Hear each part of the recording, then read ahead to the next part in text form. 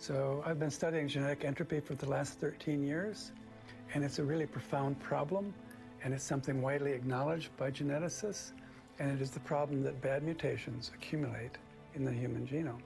And this is best illustrated by just considering it on a personal level. In your body or in my body, we have about three new mutations every time a cell divides. So this is um, sobering because it's the reason we die. And so the reason that uh, we get old and all of our systems start to break down is because of this mutational process and the accumulation of bad mutations in our genome. It's why there's an upper lifespan.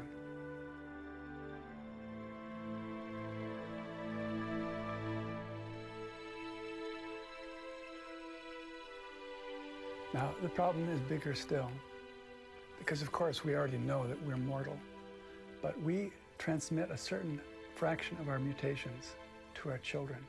And they add more mutations to it, and then they pass it on to their children. And then they add more mutations still, and they add it to the next generation. So this is a problem not just for people, but for the whole human race. And logically, the human race should be devolving, not evolving. Basically, the human race is degenerating, the human genome is rusting out like a car. Can natural selection solve this problem? No. Think of a room full of people. Now, kill off only the ones with the worst or most obvious mutations. What do you have left? A room half full of people that still have 60 to 100 more mutations than their parents.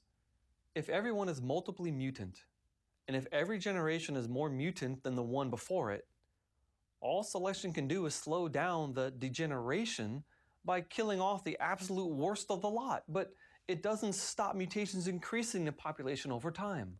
So genetic entropy is profound.